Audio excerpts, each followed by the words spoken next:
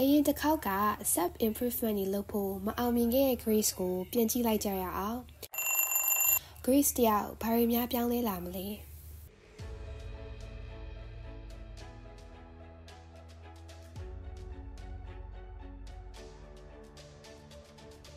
ဘလို့ပဲကြာရှုံးမှုတွေရှိရှိအရင်လိုစိတ်ပြတ်ခြင်းမရှိပဲဆက်လက်ကြိုးစားနေတဲ့ Grace ကအောင်မြင်မှုစီကိုသွားတဲ့လမ်းအမှန်ကိုရှာတွေ့သွားတဲ့ပုံပါပဲ။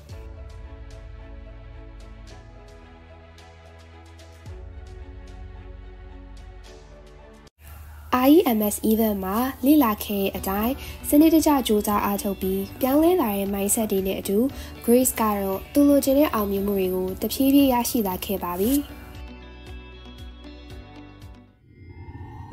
။